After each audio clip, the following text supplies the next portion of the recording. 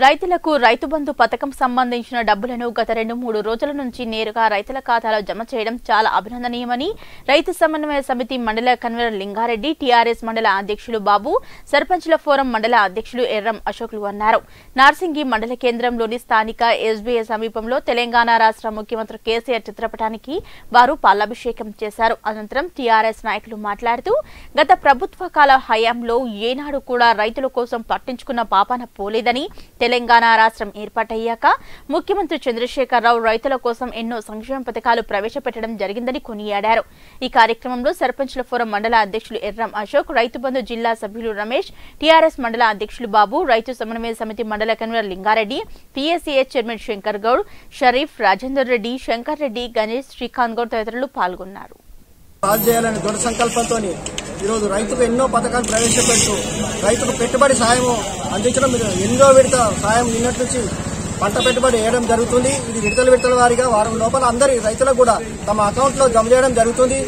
రైతును రైతు దృఢ సంకల్పంతో రైతు ఒక మంచి జీవితాన్ని గడపాలనే ఉద్దేశంతో రైతుకు ఇరవై నాలుగు గంటల కరెంటు మళ్ళీ తర్వాత కాళేశ్వరం లాంటి ప్రాజెక్టు కాలువల ద్వారా నీళ్ళు ఇస్తూ రైతును ఒక మంచి మంచి వ్యక్తిగా తయారు చేయాలనే ఉద్దేశంతో వ్యవసాయం ఒక సాపిగా జరగాలనే తోని విత్తనాలు గాని ఎరువులు గాని ప్రతిది కూడా అందుబాటులో ఉంచి రైతుకు ఎంతో మేలు చేస్తుండు.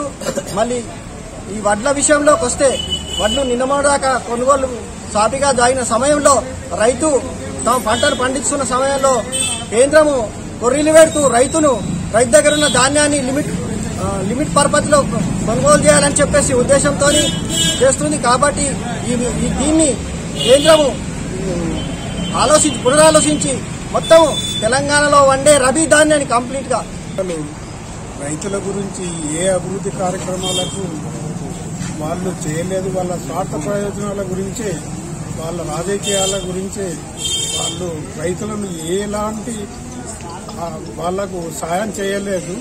మన కేసీఆర్ గారు ప్రతిపక్షాలు డెబ్బై సంవత్సరాలు డెబ్బై సంవత్సరాల పరిపాలనలో వాళ్ళు ఎలాంటి రైతులకు న్యాయం చేయలేదు.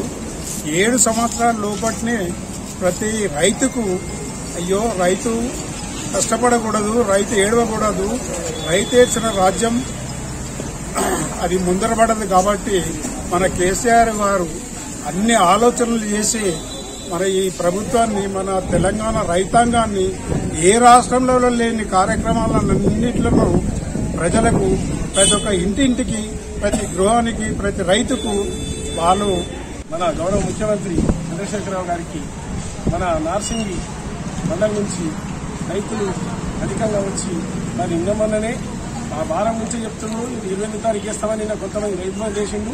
మరి ఇలా ఎన్నో పథకాలు పెట్టుకుంటూ అన్న ప్రకారం అన్ని నడిపించుకుంటూ వస్తుండ్రు మరి రైతులు ఉత్సాహంగా సంతోషంగా వచ్చి ఈరోజు మన ముఖ్యమంత్రి గారి పాలాభిషేకం చేయడం జరిగింది. మరియు ఇలా ఒకటి కాదు రెండు కాదు చెప్పుకుంటూ పోతుంటే చాతాడంతున్నది ఆయన చేసింది. ప్రతి ప్రతి ఇంటికి ఏదో ఒక రకంగా ఒక సాయం అందుతుంది. చిన్న లేదు పెద్ద లేదు ఉన్నోళ్ళకి లేదు అందరికీ రైతు మంది వస్తుంది. మరి వడ్డు కొడుతుంది మరి ఇవాళ దాకైతే కొన్నాడు రేపు ఆ సెంట్రల్ ఏం చేస్తుందో సెంట్రల్ మీదకి ఆధారపడి ఉంది. మరి ముఖ్యమంత్రి అయితే రెడీగా ఉన్నాడు సెంట్రల్ మీద ఆధారపడి ఉంది. దాని మీద నిర్ణయం భగవంతుందే